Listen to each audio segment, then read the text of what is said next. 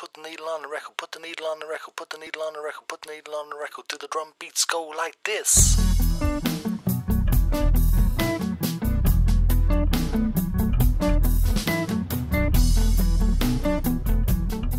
Hello, hello, hello, and welcome to episode 82 of Prog Review. And this time around, I'm talking about UK by UK. UK. What a strange prog supergroup you turned out to be. You're neither fish nor fowl, neither bird nor beast. What unique conglomeration of progness are you? So here we have the UK LP vinyl. There's Brucey, there's Whitney, there's Jobby, and there's Holdsworthy. And um, yeah, and that's got to be the cheapest logo in existence. It's a real bargain bin at Woolworths type logo, don't you agree? And um, there we go again. You can see who's on it. Let's excuse the stains. They were like that when I bought it second hand. Um, you know, I like to keep the stains. It gives it a character. Uh, so there we go. Polydor. Who remembers them? And as you can see, it's a lovely, uh, there's a lovely aerial view of the UK from old satellite. And it was produced by UK for EG Records. Remember them? In 1978. Oh look, got the original in the sleeves. That's nice. As you can see, just replicates the uh, the album cover, but this time you've got their names written down, so we know exactly who they are. And there's uh, the track listing with the credits. As you can see, there's this lovely, I don't know, UK type blocky thing, cubist. Would you call that cubist? Possibly. So there you go recorded between December 77 and January 78. It was a pretty quick turnaround, and um, yeah, so let's have a look at the old uh, the old vinyl itself. Eh? Can see a lovely little logo there on the on the label, and the same on that side. And the uh, yeah, the vinyl's in pretty good nick. A little bit of um, crackle on the B side, um, but overall, I must admit, it sounded quite good. Anyway, enough of this rubbish. Let's put the whole thing back in its sleeves and we'll carry on with the review like a good boy should. There you go. Rising from the failed Bruford Wakeman Wetton trio that was squashed by Wakeman's management and record company, A&M, and coming a year after Bruford's first solo album, uh, Feels Good to Me, this is indeed a strange melange of styles. It's part rock, little dash of prog, but a healthy dollop of jazz fusion. Ugh, jazz fusion. Oh, scary stuff. The first side features a song that's actually divided into three parts called In the Dead of the Night. Though actually if you look at the the the credits list it isn't it isn't it isn't. I think on the CD they've got it down as three separate songs, but they're all segged into one. You know, it's all joined. It's one big piece of song. Uh, it's called In the Dead of the Night, which starts off with a thudding drum and bass parts before the familiar squawk of Wetton joins the mix. From the off, you don't hear much of the, the Crimson DNA in this recording, despite there being like King Crimson's best rhythm section. But it does tend to owe a lot from that first Bruford album. That's what that's what I'm I'm getting. You know, hearing it on vinyl again after all those years. Musically, we are deep into jazz fusion territory with a, a little touch of of pop sensibility. There are phrasings that wouldn't be amiss on an Asia album. No, no, seriously, just bear with me but it you know it, it could actually be more to do with the way um, you know Wetton styles his vocal warblings than anything else. In the dead of the night leads into by the light of the day. Can you see what they've done there? Can you see? And st- steps forward Eddie, the wanker Jobson. I'll explain about that. And he flavours the mix with his little fiddle and fiddling with his synths, and I felt my mind wandering off until some great Bruford drumming woke me from the malaise. And um, then it all gets a bit widdly widdly, you know, very deliberate, you know, and we head further down the jazz fusion road. It sounds a bit like Brand X in places, but without that band's good humour. Then the band reprises, it's called Presto Vivace and Reprise. Uh, and they go through the beginning of the song again, you know, in the dead of the night. It's basically replayed. Um, so you actually have a song that's kind of been split down the middle and packed with a load of filler. Is that a bit cruel of me, do you think? Do you think I'm being a bit rotten there?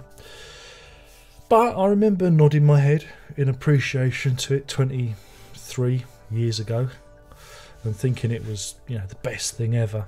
And then, you know, listening to it again, I, you know, I feel that despite having a few uplifting moments, I can't help thinking that the whole thing is a little bit overwrought and unnecessary in places. They could have done with a good producer there editing them down. But hey, it's produced by UK. Mm. The seal of approval. Uh, and the sign of a quality product built in the UK.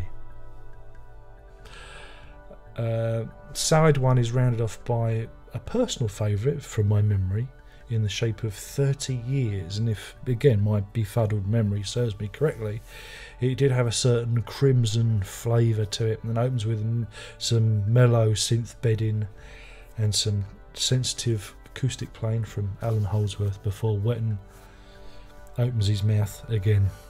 then we zip off with some more great synth playing and back into that jazz fusion groove again. Um, then we hit a great section that you know, really does sound very Crimson.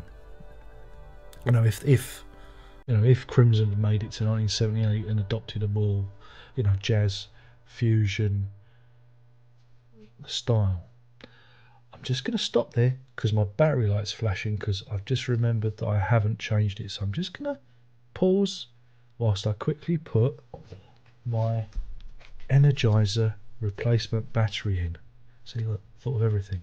So just bear with me. There will be a fade out.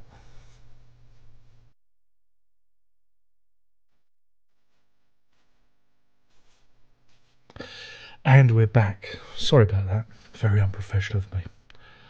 Um, I think we're on the second side. I could have just done a careful fade, couldn't I? So yeah, we flipped the record over because I am listening to this on vinyl, and the B side opens with Alaska.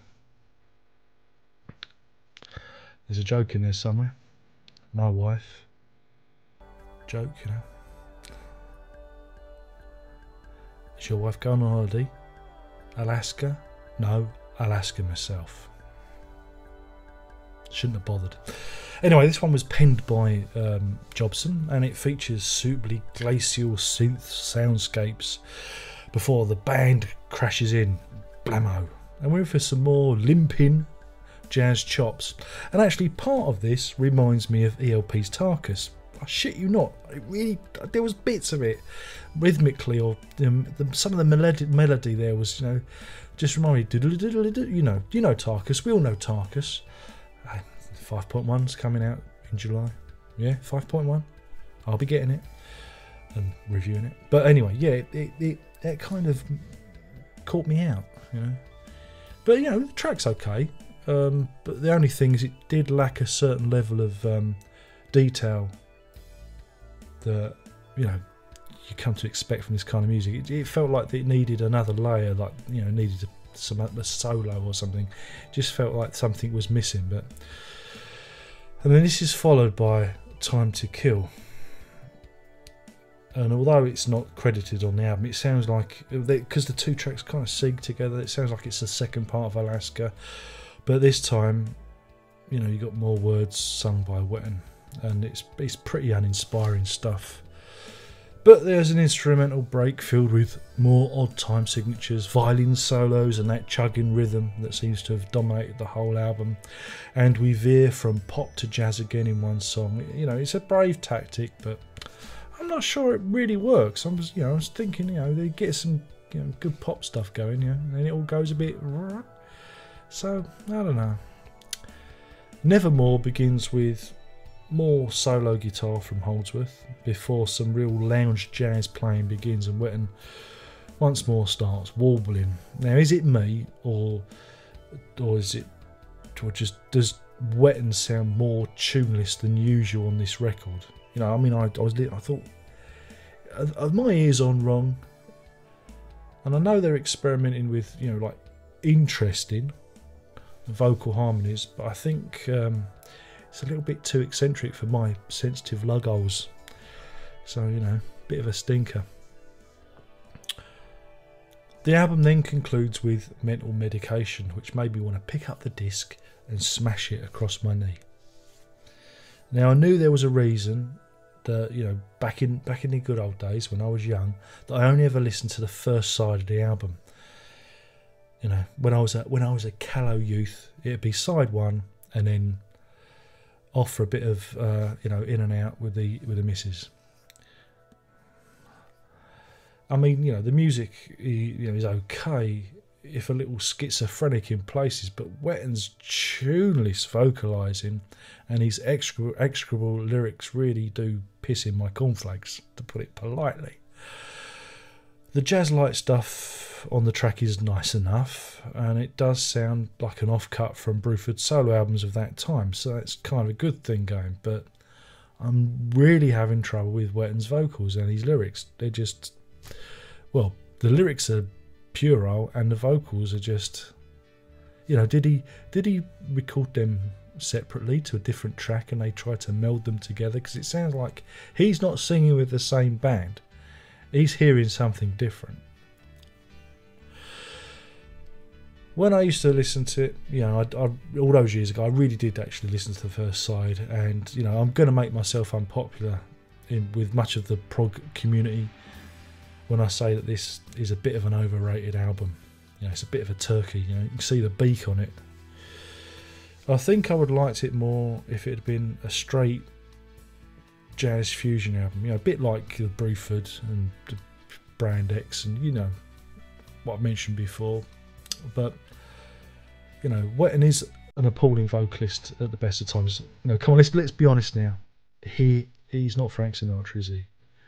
He's um, I don't know. He comes from a lot of the time. He sounds like he's got a sock in his mouth. You know, I mean that suited King Crimson though, because his unintelligible singing actually you know seem to fit with the music. Ugly music, ugly vocals, it works. But you know, he all sings like a. Hmm, hmm, hmm, Does that sound? That's a that's a rough approximation, isn't it? And you know, on this UK album, his bad singing is you know, it's very apparent. So that's why I'm going to give this recording this album, this slab of vinyl, this CD, this MP3 download, this illegal torrent, an anemic 2 CS80s out of 5. That's 2 CS80s out of 5. Now, I'm going to retire to a safe distance and put on some Bruford and then some Brand X to, you know, to clean my polluted lug holes out. Just don't send me any hate mail. Anyway, my name's been Darren Lock. I've been burbling on about UK's debut self-titled album, UK. You've been a patient audience for watching and listening to all this nonsense. Uh, thumbs up, thumbs down, subscribe, unsubscribe. Do what you've got to do. A man's got to do what a man's got to do. Um, social media, tickle my Twitter, sit on my Facebook and that's it. I have one more thing to say. Two thumbs. Prog on.